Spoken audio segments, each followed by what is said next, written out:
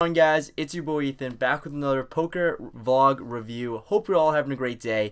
Um, back here on campus now I'm back at school and i'm going to go over the last session that i just played at twin river. Um, back at umass so i'm on campus right now so me going to the casino and playing some poker might be a little limited but i think moving forward um, i'm probably going to go here and there make a couple of videos in the future but maybe might start posting some like online um, poker videos, going over some hands, stuff like that. So let me know if you guys want to see that. That's going to be something new that I'll add to the channel so I can continually post on this channel so you guys have some sort of content to keep uh, keep up with. But um, that's the reason why things will probably change a little bit because I am about an hour and a half away from the closest casino because I'm in uh, Amherst, Massachusetts, if you guys know where that is.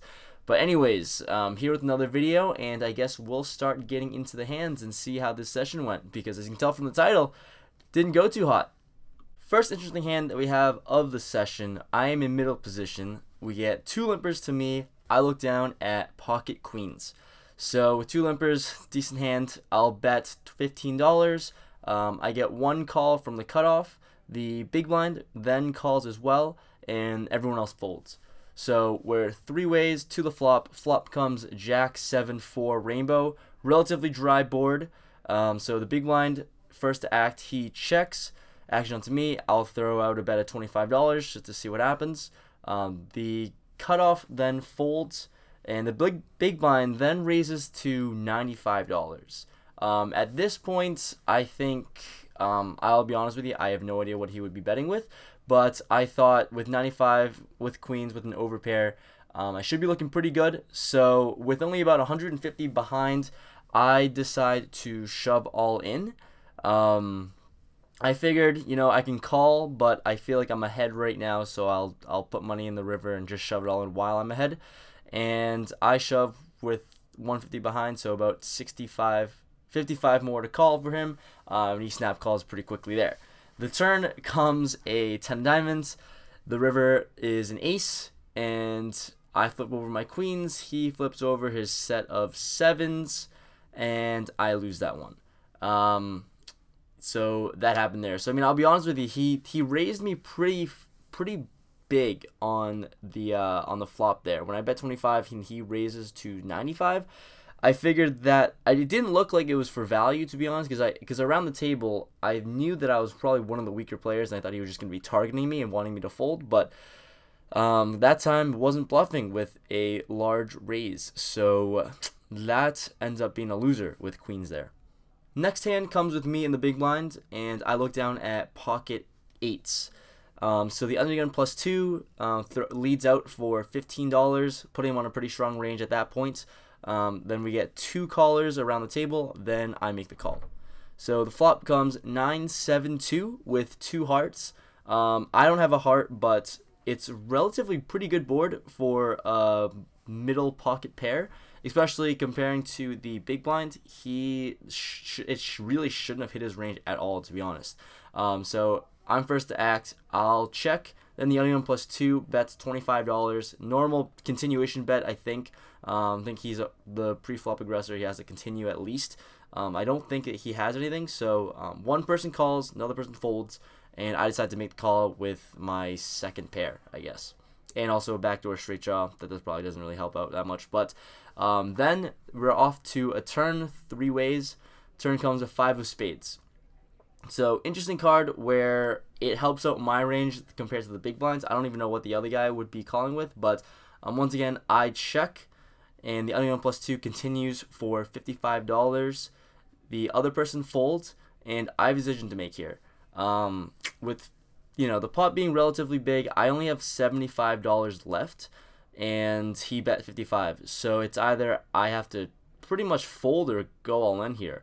Um, given the fact that he raised pre-flop or he re-raised under the gun plus two for fifteen dollars. I'm putting him on you know some sort of premium holding um, for a one-two game. That's usually what they would have, and I don't put him on a flush draw because he he bet the the flop. Um, so I'm not. I would put him on maybe I don't know. I, would put him on maybe high pocket pairs, but that's the only thing that would beat me at this point. Um, but I don't think he has anything given his bet so far. So given that, given him thinking, I think he has a premium holding, and I don't think he has a high pocket pair or aces, queens, sevens, or aces, queens, jacks, kings, anything like that. I decided to shove and put it all in because I think I should have him beat at this point.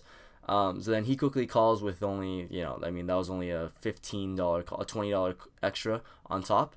So I go all in. He makes the call pretty quickly. The river is a jack of diamonds, so the flush draw doesn't come in. And I show my eights thinking I should be good, and he shows ace jack of hearts. Um, so I lose that one. I get rivered. It's unfortunate. Looking back on it, he had his outs. Looking at how he played his hand, it kind of made sense. I did put him on the right hand more or less. Didn't know he was on the flush draw, but I knew he had two overcards, and he shouldn't have had anything at up until this point. So got me on the river, but that's what happens.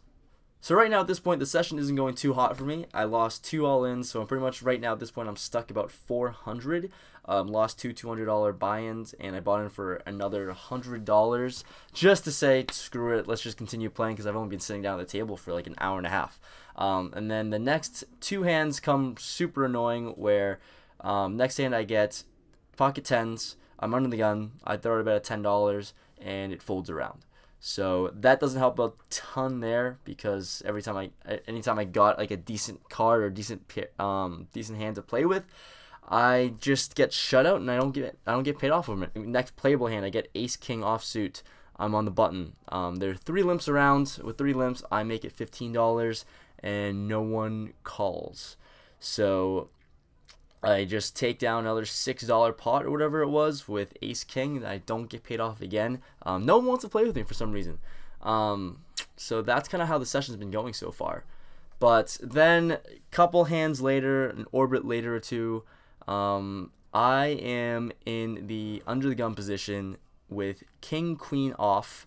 Um, at this point, I only have like a $65 stack because the cards I have been playing with have been trashed, and I lose some dollars here and there due to like pre-flop raises and stuff, and I don't connect on the on the flop. But right now, I have a $65 stack in front of me with King Queen off. I'm under the gun. I decide to make it $8 just for the hell of it, and I get three callers. Finally, someone wants to play with me, right? It's, supposed to be a good thing. Um, the flop comes 6, Queen, 8, Rainbow. Um, so flop top pair, um, a relatively dry board. I'll bet a pot size bet of $25 and one person makes the call. Um, the turn comes a 9. So pretty much shouldn't really change anything. I should still be ahead with top pair. Maybe he picked up a 9 along the way with the turn. But I decided to check, try to set a trap because I only have like 40 behind or something like that. I really, I only have like $35 behind, something like that. So I check, he puts me all in, he makes a bet of like $40 or so. Of course, I have to make the call with top pair. Um, the river ends up being a brick. Then he flips over 10-7 to make the straight.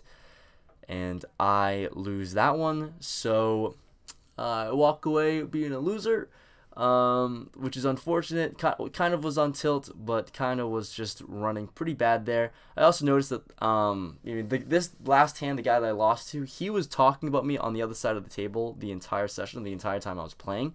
He was talking about my plays, he was talking about my hands, so he was definitely targeting me, and I just, you know, just just couldn't couldn't win on this one for some reason. But anyways, um, had a relatively bad session, and I guess I'll just send it off to the recap of how I felt after all this happened.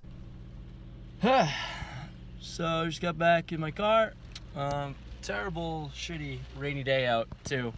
But um, yeah, this was a session to forget. Ran bad, played against players that are better than me, and just uh, just wasn't a good day. So I played for two hours. I was in for 500, and I left with zero. So uh, that's an hourly rate of minus 250 an hour this session. Um, that was really quick, quick enter, quick exit. Um, yeah, so hopefully uh, we'll just uh, you know it's part of the game. You know, ran into some bad, bad runouts. I guess 50-50 battles and lost the 50-50 battles. So um, yeah, on to the next session. I guess. Hopefully you enjoyed the video. Leave a like if you want me to make more. I probably will. I'll probably play another session later. But uh, yeah, leave a like and subscribe if you're new. Thanks for watching, guys. I'll see. I'll see you guys later in the next video. Hopefully it'll go a lot better than this one. Peace.